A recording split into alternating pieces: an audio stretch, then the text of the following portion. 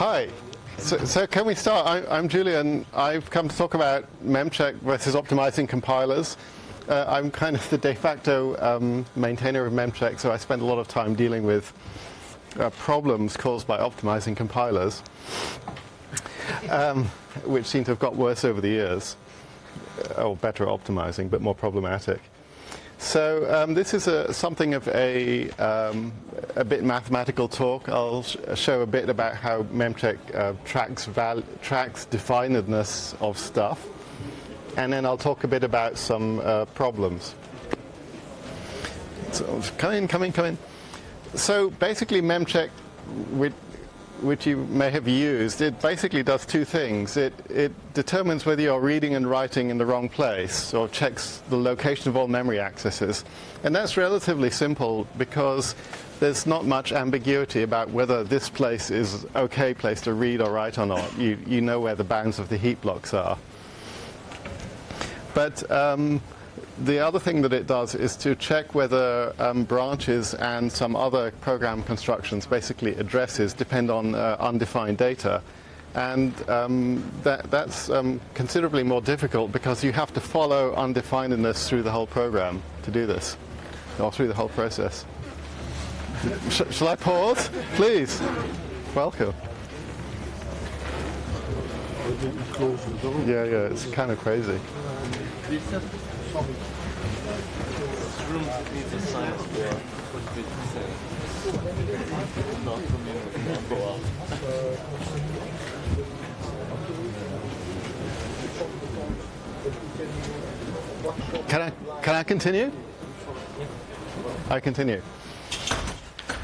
So, so for a tool like Memcheck, we put a lot of effort into um, making sure that the false positive rate is very low, um, and, and, in particular the um, false positive rate for um, undefined value errors. Um, uh, I think it's sort of somewhat known for that. So when it comes along and says this is, you know, undefined value use here, it's likely to be correct. Uh, this is important because um, lots of false positives make tools less useful for developers. So uh, back in the good old days of 2005, that was all fine. We had most stuff under control. Um, uh, you know, occasionally you got false positives, but they, we could get rid of them. Um, ten years later, we have um, Clang 3 and GCC 5 and um, their successors generating all sorts of problems, uh, some of which are not easy to get rid of. So um, what I want to show you is some um, basics about definedness tracking. I'm sorry if it's a bit mathematical um, some problems where we have some solutions and some problems where actually I have no idea what to do. And it's actually, I think it's quite serious. So here's some maths. You can throw things at me if it's too boring. Oh, here's some basics, sorry. So what Memcheck does to cut out all the intermediate stuff is for every, literally every bit of the state in your process, that's all the memory and all the registers, it has a, a second bit, a shadow bit, which follows it around everywhere and tells you whether that, be, that bit is defined or undefined. And we use the, oh, I could use this. We use um, this, uh, we use one to encode undefined and zero to encode defined, which sounds a bit perhaps not what you'd expect, but it makes the code generation more efficient. So when, uh, when we come to actually calculate a value from operands, like r equals x plus y, um, I mean, when the program does that, then memcheck has these, um, you know, shadow values of the same size, which I write as x hash and y hash. Uh, so literally, if x is 16 bits, then x hash is also going to be a 16-bit thing containing shadow bits. And then we want to compute somehow the definedness of the result, r hash. And so by doing this, it follow, tries to follow definedness through all the arithmetic in the program. And when it gets to a, like an if or the use of a, a value in a, for a memory address or for a couple of other obscure things, it actually checks whether the value is defined and it generates an error at that point if it's not. So we write, wrote this all down quite nicely in this paper, which you can uh, look at if you like this kind of stuff. So here is some, some basic building blocks, which uh, I'll talk about a bit. Sorry it's all a bit mathy. So we, our most important building block is u if u, which means undefined if either argument is undefined. So this takes two, um, how can you say, uh, vectors of uh, definedness bits, here's an example, and, and, produces another vector. So this, I'm writing a four-bit vector dddu, meaning three bits saying defined and the fourth one undefined. And, you know, we combine it with this one here, ddud. So we get two bits which are defined and then two bits which are undefined. And because defined is zero and undefined is one, that means you can just implement it using an, a standard OR operation. So then there's a dual operation, d if d means defined if, defined if either argument is defined, which uh, we'll use much more rarely. uh, here's another one called left, I called it left, which finds the rightmost undefined bit in the word and then propagates it leftwards, like that. So it finds this bit here, and then you get all of the bits above it are undefined. So we'll, we'll see how that gets used. Um, bizarrely, you can do, implement that by negation and ORing. Uh, there's a lot of bit twiddling tricks. And the last um, building block is this thing called a uh, pessimistic cast, which takes some vector of definedness bits and produces a vector of definedness definedness bits of some different size. And uh, the idea is that if all of the input bits are defined, then there is all of the output bits are undefined. But if any of the input bits are undefined, then the whole output is undefined. So that's why it's sort of pessimistic, because anything bad that comes in produces complete badness at the result. So the most important case is when we um, want to take a, a bunch of bits and check if any of them is um, undefined so that we, will just be p-casting down to a single bit there. And um, there's even more weird bit twiddling which implements this. So uh, Memcheck spends half its time, well, a large amount of its time running all these sort of weird low-level arithmetic operations. That's what you're actually waiting for. So let's see some simple case. So let's instrument or instrument addition. So we're going to take some simple operation in the original program, some, you know, r is x plus y. Uh, I mean integer addition here as well. and uh, the simplest thing we could say is if, if we find a bit in either input operand which is undefined, then the resulting output bit is also going to be undefined. So we can use u if u on the um, defined in this input to produce the output. But that's actually kind of too simplistic, right? Because when you add things, then you get this carry which can go arbitrarily far up the word towards the most significant bit. So um, we need to actually do something about carry propagation. And so the simple thing is to assume the worst case that the carry is going to come all the way along the word upwards. And this is my most significant bits here. They're here for you. So um,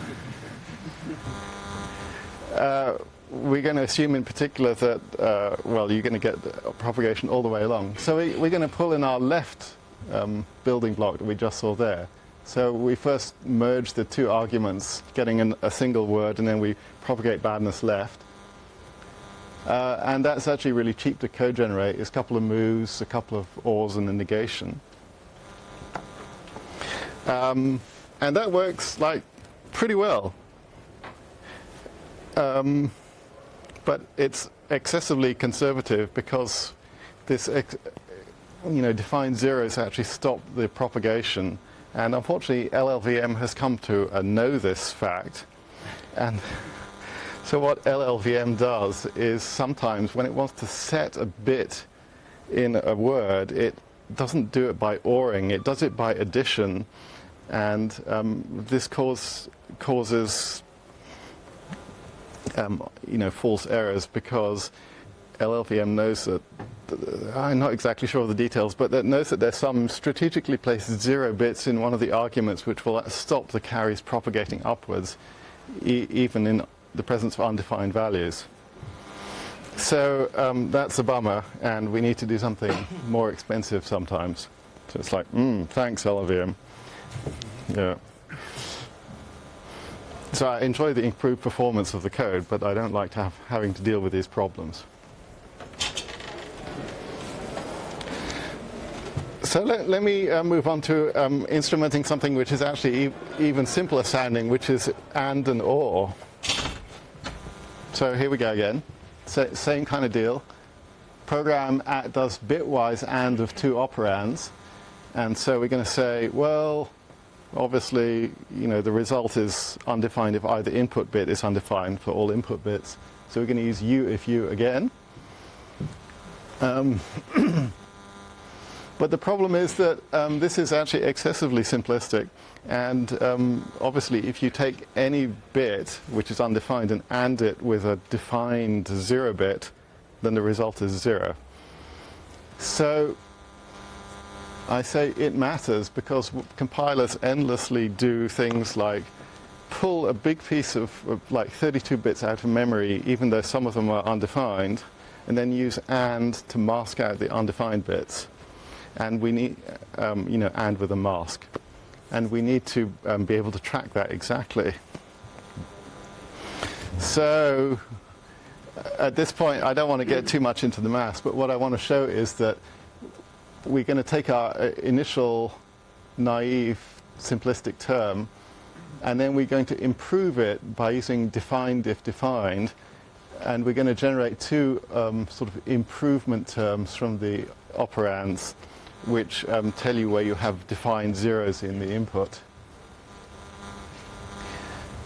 so one, one thing that you can take from this is that to instrument an AND operation, you need to know not only the definedness of the inputs, but you also need to, to know the actual input values now. So you have four inputs, and it's turns beginning to turn into a big complicated piece of code. You know, you have a bunch of ands and ors and nots and stuff. So it's kind of suboptimal, but the, the, you, you have to do it. Uh, same deal for OR, you know, when you turn everything upside down, swap the ones and zeros. Um, but the good news is that this is an exact interpretation. It gives you exactly the right results. And that's a fact which uh, we will come back to shortly.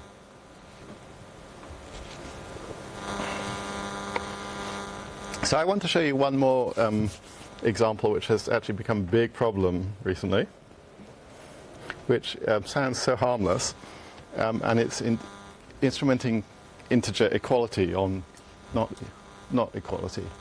So the program is going to compute a single bit result by comparing two integers, like whatever size. Sounds harmless, right? So we're going to use pcast um, UFU again to merge them sort of in parallel. Then we're going to use pcast to merge all the bits down to a single bit. So the result of this is that we say the result is going to be undefined if any input bit is undefined. And it's like, okay, sounds reasonable. And actually, this worked pretty well for about 10 years until about 2015. But actually, it don't work no more because uh, Clang 3 came along, and then I, th I think uh, GCC picks up its bad habits from Clang. So uh, that's my theory, anyway. So what Clang will do nowadays, imagine that we have this structure which contains two 16-bit ints, and we want to compare, you know, both of them and then do something. So what Clang will do, and probably what GCC will do now as well, is just generate a 32-bit load for both fields of the structure, and then and then compare, um, you know, it as a single thing. So, if in the original source code, if this num if this is not true, then it never looks at that because of the C semantics. But here, it's going to look at it anyway. So um, we wind up doing a comparison on partially uninitialized data. And I'm thinking, I want to kill myself. No, no, it's not that bad. Um, So uh, what can we do about this? So you, you observe that the program actually still works right when the compiler compiles it like this, so it must actually be correct. The, the question is to make the instrumentation actually match reality now. So what is the, the key observation? The key observation is that if you, you need to find two, diff- two corresponding bits in the input, here I write x, uh, 0 and 1, and if they are different and they're both defined, then we know that the two the, two, the, the whole wo- two words here are um, not the same, right? So we don't we know that these two words are not the same, regardless of the fact that we don't know what all these x's are, because the one and zero make it so. In this case, the two zeros don't help us because we still need to look at the x's to determine whether they're different. Yeah. Where is the text wrong? It says result is undefined if, if they're defined but different. But the line below says it's defined if they're defined but different. Ah, you're right. It's a bug. Yes, yes. Result is defined. Ah, I checked it so carefully this morning too. well, thank you. So uh, yes, we can fix up the scheme like we did before. Um, so we're going to take our, our naive version, which is u if u, again, but this time we're going to generate some improving term, which uh, kind of improves the result, makes it more defined, exactly by looking for bit pairs like this, which they're different but um, the same. So it, it gets. I'm not expecting you to understand this, but the point is, it gets compli- it, it gets complicated fast and it gets expensive fast. So, you know, we have an improver term, and then we have this weird function which actually um, does a, a kind of optimistic cast. It's a, the parallel to the, the pessimistic cast we talked about earlier. you can look at the gory details in the code base if you really want to want to see this stuff. But the, the real point about it is that this is expensive to do. Um, it's like going to be 10 instructions now in the in the code in in the generated code instead of three or four. Um, it's actually difficult to um, prove right. So oh, I had my prop here somewhere. So I have this whole bundle of bits of paper, which is my proof attempts to prove. This is several pages, not just one. Attempts to prove that uh, this transformation actually is correct, and it's generally ungood. Also, th- this function ocast, which is a kind of a shortcut way of saying if any input is defined, then the whole result is defined. Um, I had a less efficient version before, and this weird version is generated by the GNU Super Optimizer. So that actually improves the perform- performance a lot, but it makes it even more obscure. So the question is, well, that's kind of rubbish. Can we do anything better? So we can kind of do it something better. So we cannot necessarily do it faster, but at least there's a at least there's a way to um, to prove whether the, these interpretations are correct or not. And what you can see from sort of basic Boolean algebra is that you can write any function, any combinatorial logic function, you know, this is like Boolean algebra 101, um, using just and, or, and not on individual bits, right? Or also XOR because it's kind of convenient here, so we can we can take some subset of these three. And like I said in my previous slide, for and and or we have an exact interpretation, exact instrumentation, and, and the same is true for not and XOR. So that means that if we first take any operation we want to instrument, write it in terms of single bits, and then um, apply our instrumentation scheme to that, then we will have something which is actually correct, even if it's not optimal. And then what you need to do is prove that that's the same as what you're generating code with. So um, my my prop here is my proof that uh, for equality. So and, and then you put that through the the, the, the optimizer and it comes up with no, No, so, so, uh, so I wanted to say first, this is just what you do for a three-bit input, three-bit equality. So you expand it like this, and then you expand it with these NOT and XORs, and then you apply the um, interpretation to this. And what you try and do, or what I tried to do, is prove that the instrumentation of this is the same as what I actually implemented which is no fun, but it's doable. Wouldn't UBSAN have to do the same? Well, I think UBSAN actually, I don't know how exactly how it works, but I think it probably has a simpler instrumentation scheme that just determines, observes when you're reading uninitialized memory. But I don't know if it actually tracks d- in this much detail. But I, I, I would say I do not know how UBSAN works. Uh, I actually was talking about MSAN, so UBSAN is something a bit different as well. Maybe. Anyways, Well, for this proof, could you not just use um, an SMT solver to do this for you? please, thank you for volunteering. it's, it's like, yes, you probably could if I knew about that stuff and I had enough time to do it. I I mean yes, it would be good. But there's also a lot of other things, like um, we have an expensive interpretation for add and subtract, which is exact, and I would like to prove that that is correct. A- And not only prove it's correct, but maybe find a, a faster way to do it because it's slow. So anyway, enough about bit twiddling. I wanted to actually sort of show uh, what the current status more or less is. So in the in the current trunk, which will be in 3.14, which is not released, we have um, exact um, interpretation of add and subtract, uh, which is actually driven by an analysis. So when uh, of the block being instrumented.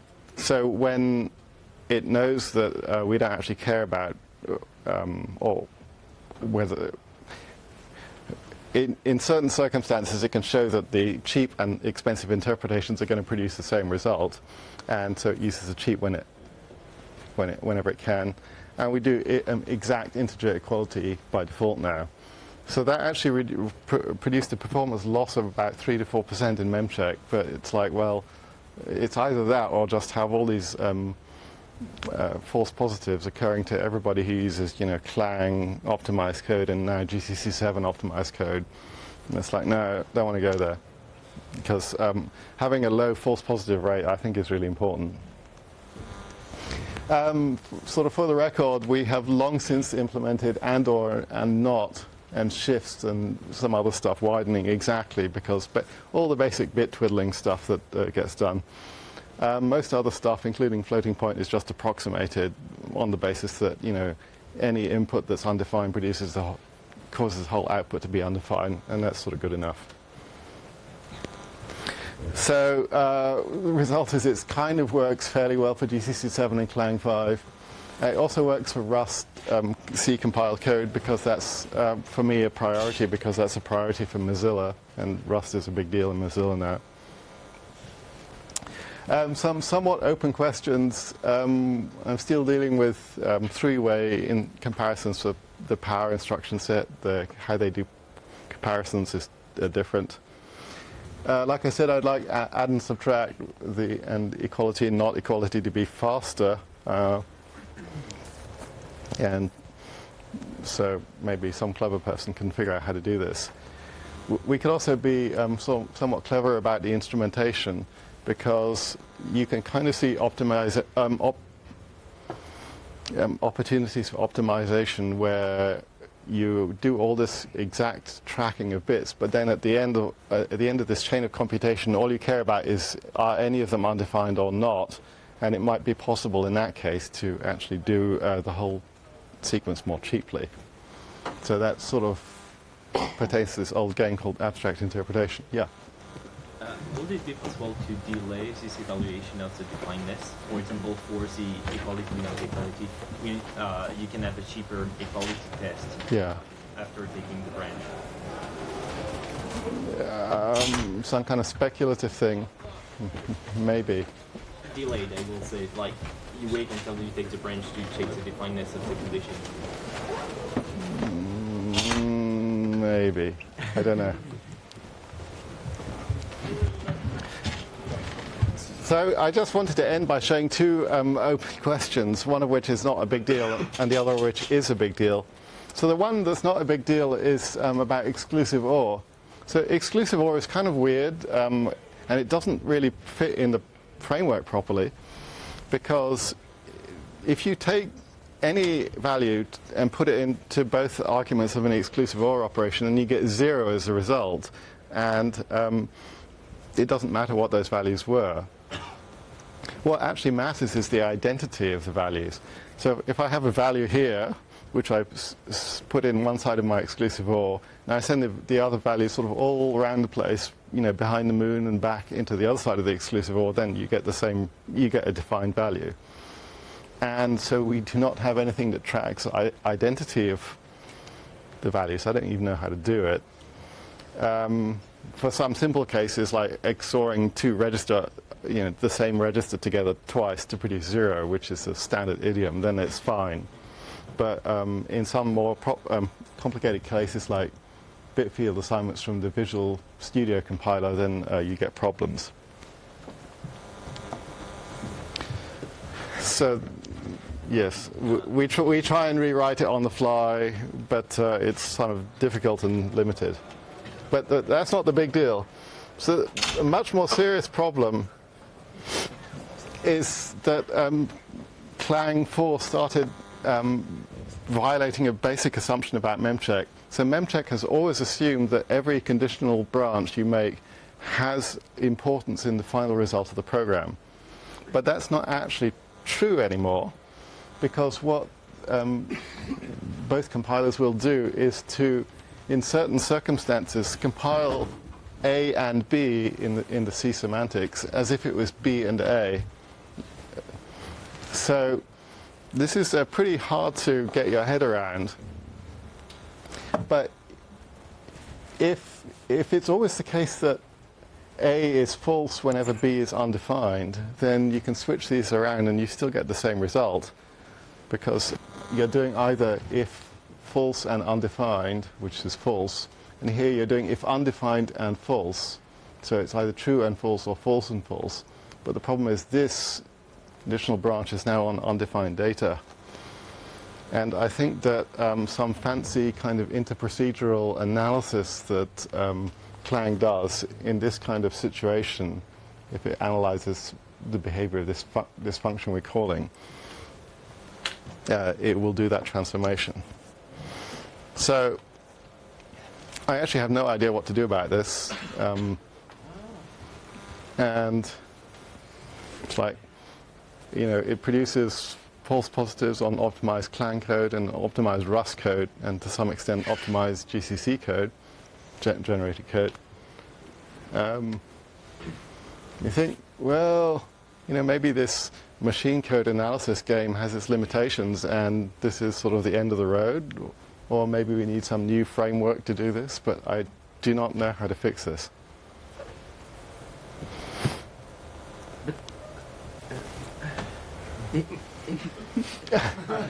Yeah, yeah that, that's how I felt too.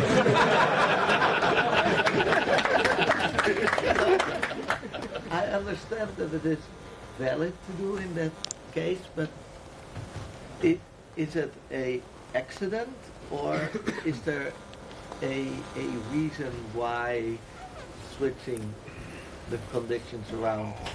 Oh, you mean does it have a I- per- does it have a performance benefit? Yes. Uh, You'd have to ask a GCC or Clang person that. I cannot tell you that.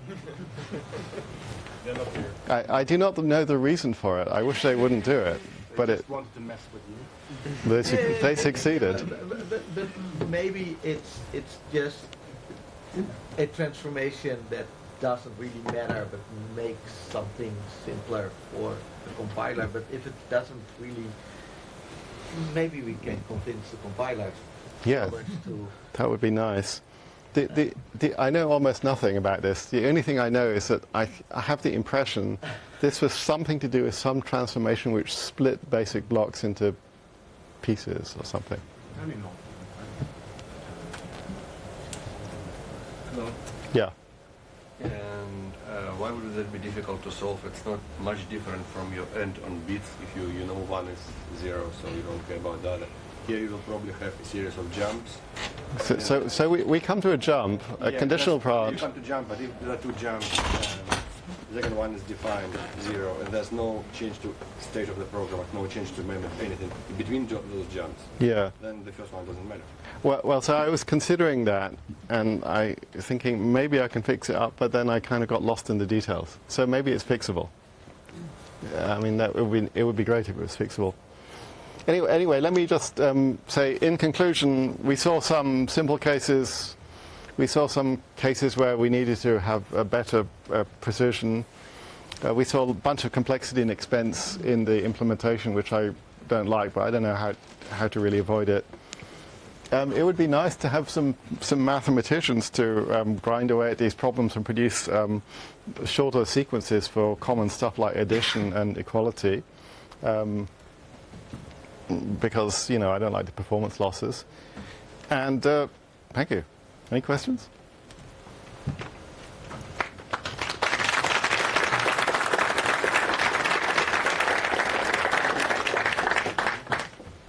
Do you have a way to uh, use the fast fast ones that you we currently have and fall back on the slow one if it says that's undefined? Yeah, so some kind of speculative instrumentation. Yeah, yeah so, so that would be doable, but that, uh, you know, that's a whole framework, you know, JIT framework, JIT runtime framework decision to produce a piece of code which you can execute and say then, oh, we don't like that, we're going to do this one instead. Or should having them as an offline path? Yeah. I haven't considered, well, I have thought about that, but, you know, that's a lot of engineering.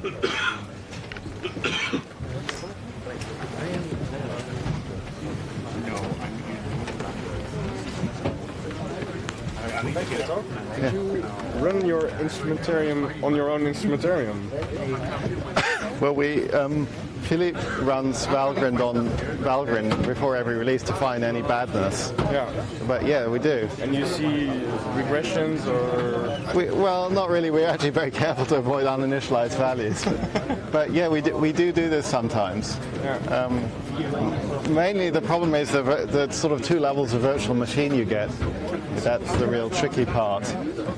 yeah, especially if you have like uh, like the older stuff and the newer stuff, Yeah. which have completely different uh, way of, Say, different ways of doing that because the, the optimization is different. Yeah. That uh, maybe some old stuff can help the new stuff.